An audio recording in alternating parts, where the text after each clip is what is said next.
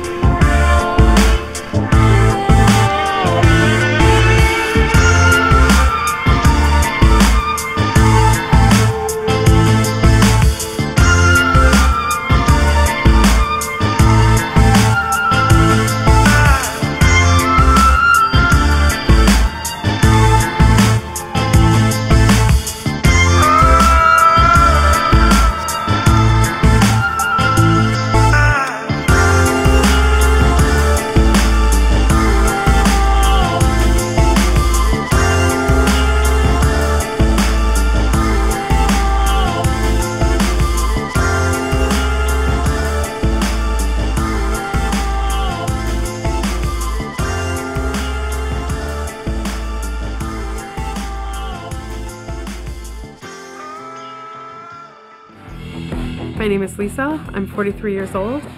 I live in Detroit, Michigan, and I'm addicted to eating cat hair. Just chewing it is relaxing. It's a comforting feeling. Her fur is such an interesting texture. It's so soft and puffy and like cotton candy almost. Sometimes they do get stuck in your teeth, but you can just get them out with flossing and brushing. Sorry, it's in my lipstick. When my sister told me she was eating cat hair, I was shocked. It is strange. I don't think she should be eating it.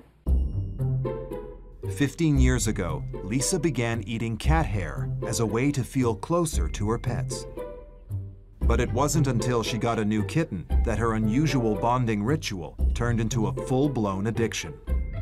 Now, two years later, Lisa's so hooked on consuming cat hair that she can't go two hours without a fix. I kind of look at it and make sure it's relatively clean and just cat fur. I'll kind of break it apart and then just put it in my mouth.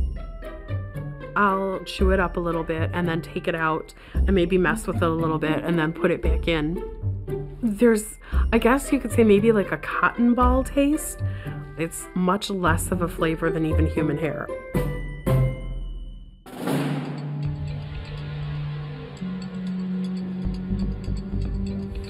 I find the cat hair that I eat all over the apartment, on the floor or on the back of the couch or on the perch, but the best ones are right off the cat.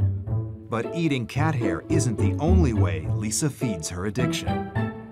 I groom my cat with my tongue like a mama cat would do to her kitten. Are you my good girl? She'll just like spread out on my arms. I'll just clean like her shoulders and her ears and the back of her head and stuff and her face.